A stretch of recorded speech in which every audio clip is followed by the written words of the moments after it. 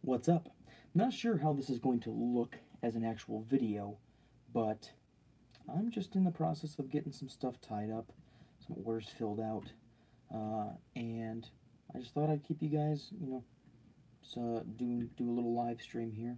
Uh, it'll go up as an actual video later on, but, you know, if anybody pops in, wants to ask a question, um, great. If not, I'm just going to kind of go through what my workflow looks like for tying up most of my Great Lakes steelhead flies.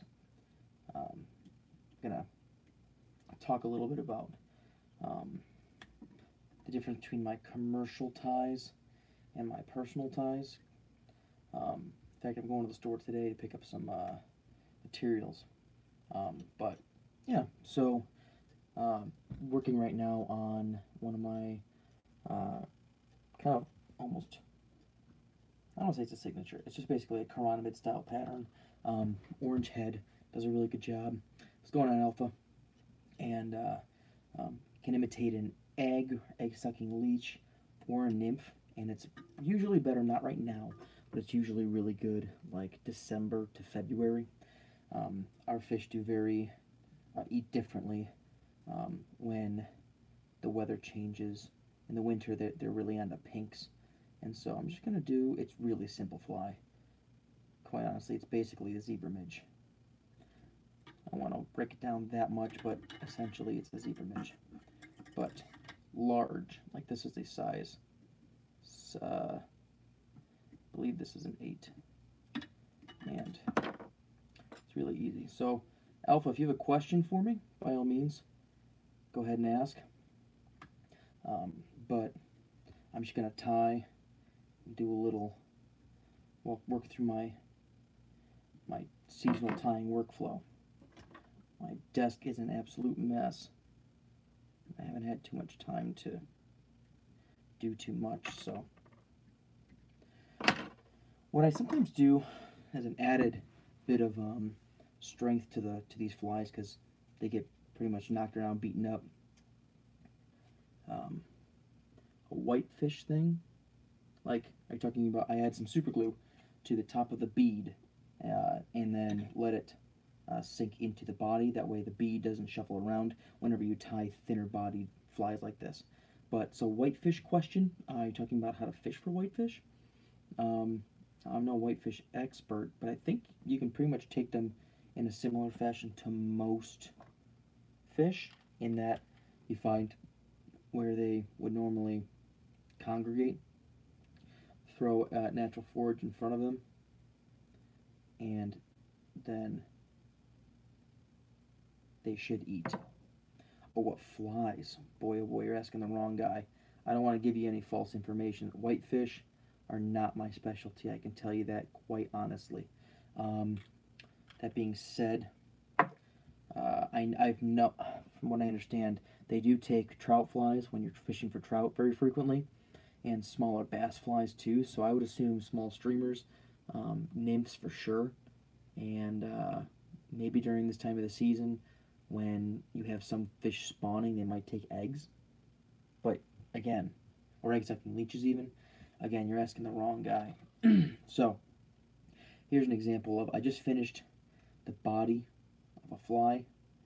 I'm going to take it, I put it in some form of of of uh, like hackle pliers. This happens to be a plunger style. And I'll set it off to the side to dry. I did that with this one earlier. Uh, so this one's pretty much done. Uh, I, I, make sure that the, the outer body is smooth. It kind of helps um, the fly stand out. But what I've done before is, is I've set up, so like I'm going to transition into some egg patterns here for commercial use. What I've done is I've tied a bunch of the foundational threadings on the same style fly or the same fly completely. And I'm going to be using some Otter Creek uh, soft milking eggs, uh, or Otter soft milking eggs rather. A lot of people like these for this time of the year, and these are super simple, uh, especially the ones without a veil. They didn't want a veil. The veil I think is probably the best catch, to be honest with you. This happens to be a uh, the salmon style egg. I'm going to thread it onto, this is a rise or risen, risen size 4 egg hook. This is so simple, guys. I've thrown a little bit of pink thread. Red thread works too. You want to imitate the yolk. I'm going to take my little bit of super glue. This is the cheapest super glue that, that I can buy because I go through so much of it. I put a little bit on, oh, that's more than I usually do. Uh, kind of got away from me there. So what I'll do is, uh, I'm going to take some, let's see, some, where is it? One of my packages, and I kind of wipe some of it off. Okay, and then I'm going to set this here. And then what I'll do is I'll let it kind of set for a second. Then I take my egg, push it up onto the yolk. Boom, there you go. Uh, size 4 hooks uh, in fast water aren't seen as some people would say. This right here is a fly that will last quite a while. Uh, always double check to make sure that your uh, hook eye is clear. This one is. And then what I'll do is uh, on size 4s like this, I can, I can grab them, but if I needed to, you can use hackle pliers.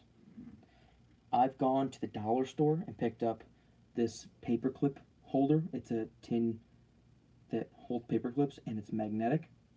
Uh, and what I do is either, if it's a smaller fly, I will set it like this so that the magnet holds it off to the side. But with this one is a little bigger and it doesn't take long for super glue to dry. I'll set it up like this and I'll just let it sit. A lot of guys use cork too, that works just as well, but on commercial ties I don't pinch the barbs and so you don't see a lot of guys. I just saw a comment I wanted to talk about maybe here. Um, let's see. I don't know how to get the comment back up. So if you can, uh, what do you call it? Recomment that. Sorry about that. Um, but on commercial ties, I don't pinch the barbs, so I don't want to use cork and then keep ruining the cork. On barbless or pinched myself, I will use that. A couple of other things that I'll use, um, especially recently, is some of those uh, Lucky Tackle Box uh, will submit like uh, these types of soft plastics. These work pretty well, and these work pretty well as well. These are not otter soft milking eggs, but they are very similar. They're soft plastics.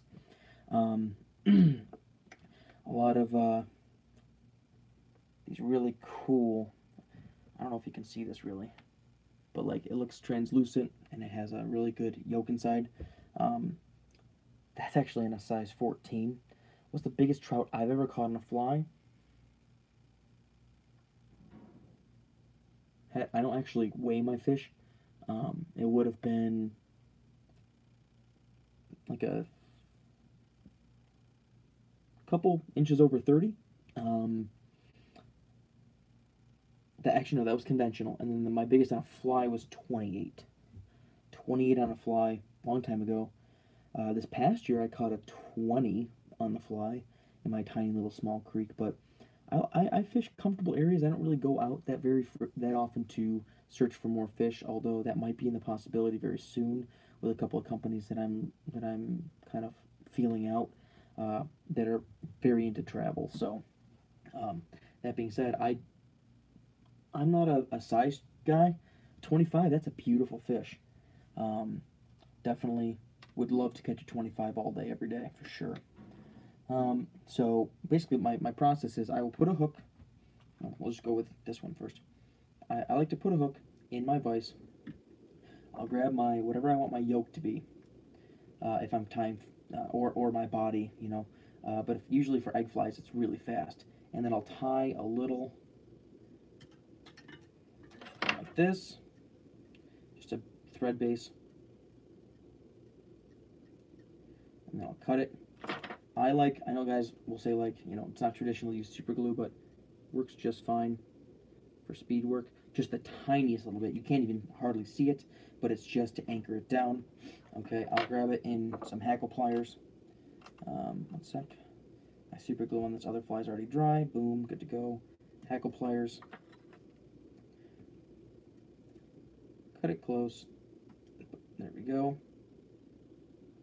And then this will go off to dry. And then I'll do the same process on whether it be half dozen, 12, full dozen, or whatever.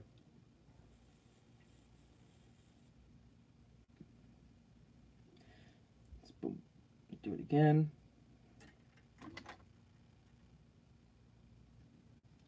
by doing this, I'm preparing my hooks